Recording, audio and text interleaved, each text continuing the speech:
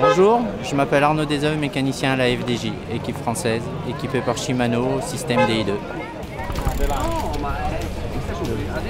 Le vélo de la Française des Jeux, tout Shimano DI2, Shimano Duras, pédale carbone Shimano, dérailleur arrière, dérailleur avant. C'est le système DI2, donc la batterie,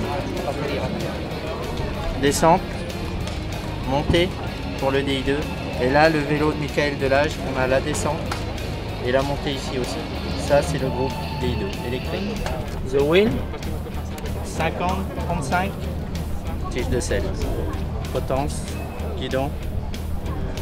Ça, c'est Shimano Duras, DI2, électrique. Voilà, The Bike euh, français, française des jeux. Voilà.